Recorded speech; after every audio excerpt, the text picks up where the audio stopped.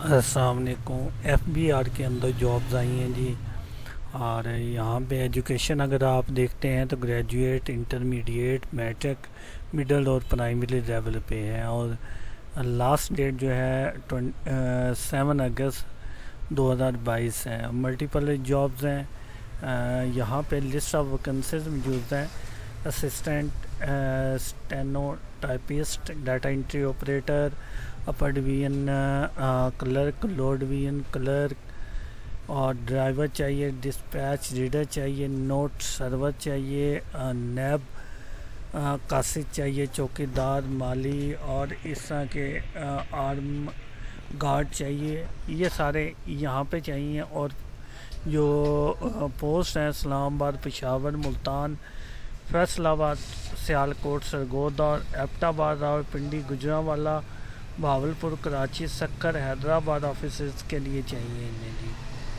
ठीक है, और ऊपर मैं बता चुका हूँ रिक्वायरमेंट्स आपको जो है एजुकेशन की तो नीचे और देख लेते हैं। यहाँ पे इन्होंने ऐड किया हुआ है। तो असिस्टेंट के लिए जो है जी, वो आपको ग्रेजुएट होना चाहिए, आपको और आईटी की ट्रेनिंग भी होनी चाहिए। छः महीने छः माह का कोर्स होना चाहिए आपके पास।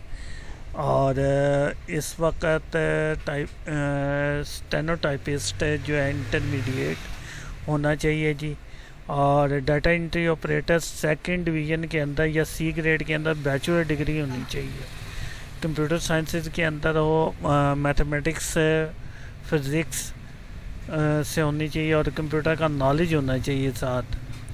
अपर डिवीज़न क्लर्क के लिए इंटरमीडिएट होना चाहिए और तीन महीने का आईटी कोर्स किया हो जिसमें एम एस ऑफ़िस वगैरह जानता हो। लोअर डिवीज़न के अंदर मैट्रिक होना चाहिए जी और आईटी का तीन महीने का कोर्स लाजमी किया हो तो ये भी हो गया जी और दूसरी अगर अगर देखते हैं तो यहाँ पे प्राइमरी प्राइमरी मिडल पास ये सारे यहाँ पे चाहिए। तो अप्लाई करने का तरीका ज़रा समझने अप्लाई करने का तरीका ये है, ये इनकी साइट है। साइट ओपन करेंगे तो ये अभी इस तरह की आपके पास शो हो जाएगी।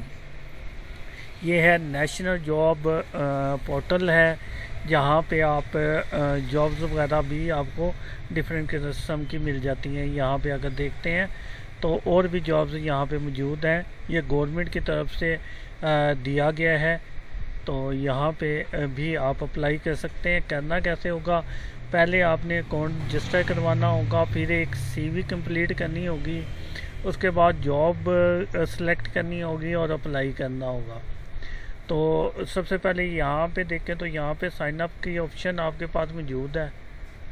तो यहाँ पे अभी देख लेते हैं हम। तो ये आ गया जी। सबसे पहले कैंडिडेट जो है टाइप आपने बतानी है। कैंडिडेट टाइप जो है, वो साइन अप करने लगा हुआ है जी। यहाँ पे आईडी कार्ड नंबर आपने देना है। यहाँ पे ईमेल एड्रेस देना है। यहाँ पे पासवर्ड और यहाँ पे फिर पासवर्ड आपने देना है। तो उसके बाद आपने साइन अप कर लेना है। साइन अप करने के बाद आपको एक मेल रिसीव हो जाएगी आपके मेल के अंदर वहाँ से आपने इसे आ, कर लेना है वेरीफाई कर लेना है। वेरीफाई करने के बाद आपके पास आपने दोबारा से वो आपका लिंक यहाँ पे आ जाएगा और इस पोजीशन पे आप आ जाएँगे। इस पोजीशन पे आने के बाद आपके पास एक फॉर्म होगा। उस फॉर्म को आपने फिल करना है जिसमें आपका नाम फादर नेम और ये डिटेल वगैरह पूछी जाएगी। और इसके अलावा एजुकेशन के बारे में पूछा जाएगा, आपके मोबाइल नंबर के बारे में पूछा जाएगा। ये जैसे ही कंप्लीट हो जाएगी, उसके बाद आपके पास ऑप्शन आ जाएगी, आपने सर्च करनी है जो जॉब जिस जॉब के लिए आपने अप्लाई करना है। तो वो आप यहाँ से भी ले सकते हैं।